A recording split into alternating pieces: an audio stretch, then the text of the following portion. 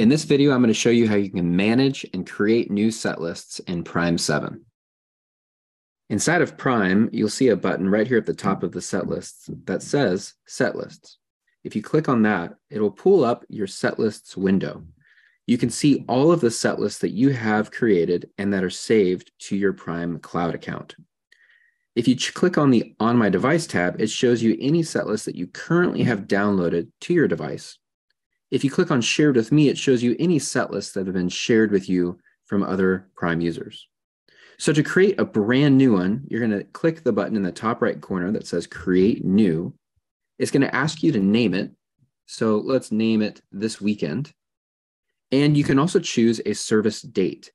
So I'm going to choose the 25th, click create, and now I have a brand new clean set list.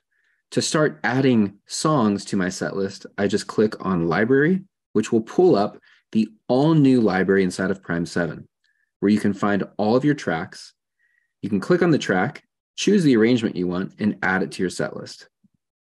Once you've added a bunch of songs to your set list, there's also a way where you can manage it, where you can remove songs, reorder songs, or even rename your set list. Let me show you how.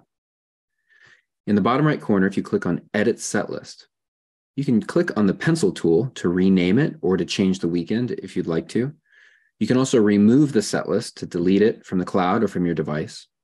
You can also reorder your songs by just clicking on a song and dragging it to where you want it to be in the set list. In this window, you can also remove songs from set lists just like this, or you can also change the transition options. Some of those changes you can actually already do within the set list with inside of Prime. So if I want to move these songs around, I can just click and drag to reorder or click here to adjust my transition option. Those are just a few ways to manage your set lists in Prime 7.